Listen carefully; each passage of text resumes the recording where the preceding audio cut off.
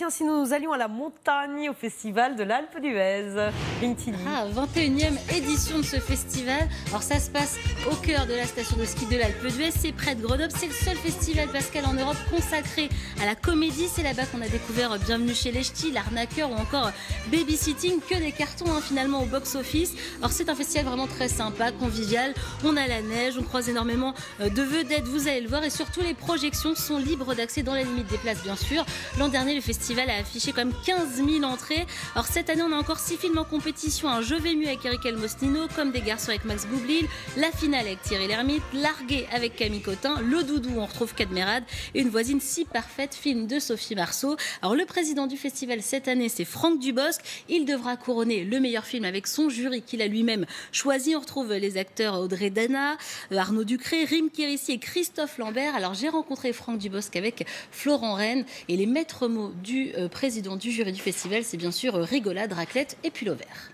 C'est ça qui fait que l'Alpe d'Huez, euh, on a tant envie d'y aller. C'est le bel endroit, ça c'est une chose, mais, c'est cette ambiance. C'est-à-dire que le soir, le feu de cheminée, tout le monde est en doudoune, et, et, pas forcément au mieux de, son... voilà. et ça crée quelque chose effectivement de très camarade. Vraiment, il a, il a ça. Ce festival a ça de très camarade. C'est pour ça que je voudrais aussi que le palmarès ressemble à ça. Euh, en général, il y ressemble assez. Il est assez populaire, le palmarès. C'est un festival d'humour qui ne se prend pas au sérieux, mais qui est sérieux.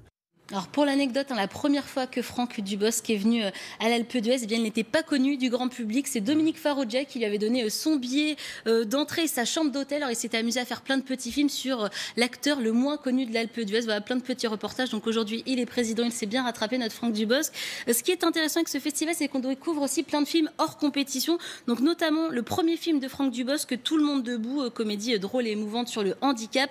Et le public pourra aussi découvrir en avant-première. Je sais que Pascal, ça, ça vous passionne la Petite Famille, le dernier de Daddy Boone, mais aussi Les Tuches 3. On va quand même découvrir Jeff Tuche à l'Elysée, on va bien rigoler. Il y aura aussi le retour du héros comédie burlesque avec Mélanie Laurent et Jean Dujardin. Vous l'avez compris, le festival s'annonce riche. En plus, Pascal, vous serez là-bas, donc vous nous raconterez tout. Oui, voilà. Non, je vais pas là-bas pour skier, je vais pour travailler.